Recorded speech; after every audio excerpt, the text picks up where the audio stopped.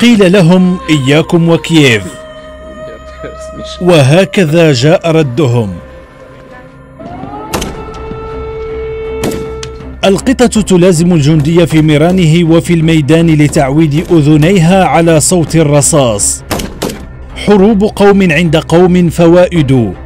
مثل ينطبق على هؤلاء السجناء الأوكرانيين من أصحاب الخبرات القتالية الذين حصلوا على براءة مشروطة بالقتال أمام موسكو ووزعت عليهم الأسلحة. نمور خاركوف والسجناء كروت زيلينسكي الأخيرة أمام بوتين. في أوكرانيا لا تعد القطط كائنات كسولة وتقضي معظم وقتها في النوم بل تتولى مهام عسكرية. القطة نتركها تسير أمامنا هنا فإذا كان هناك لغم ينفجر بها وتنقذ بذلك أرواح جنودنا.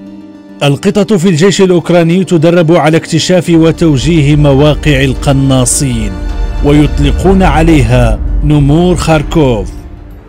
الرئيس الأوكراني بات يفقد ملفات القوة لديه واحدا تلو الآخر ويخذل من قبل الغرب. لجأ لحل يرى أنه يشكل ضغطا على القوات الروسية التي تعتبر الآن على أعتاب بابه مباشرة. هنا تعم الفوضى أنحاء السجن الأوكراني والذي يعد من أعتى سجون العالم. يقبع فيه سجناء من أصحاب الخبرة القتالية والعسكريين المنشقين عن أوكرانيا. أبرم زيلينسكي صفقة معهم بإطلاق سراحهم مقابل القتال في مواجهة موسكو. القوات الروسية تحاصر أوكرانيا الآن من ثلاث جهات والصور الأوكرانية تقول إن حال بعض مدنها كأن لم تغن بالأمس. وفي ضوء تسارع الأحداث بين موسكو وكييف وتصاعد حدة العقوبات المسلطة من الغرب على روسيا يظل استخدام القوة المفرطة أو الانسحاب هزيمة لأوكرانيا.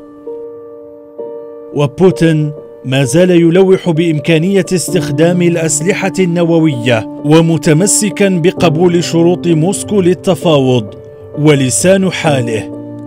أجارتنا إنا غريبان ها هنا وكل غريب للغريب نسيب فإن تصلينا فالقرابة بيننا وإن تصرمينا فالغريب غريب.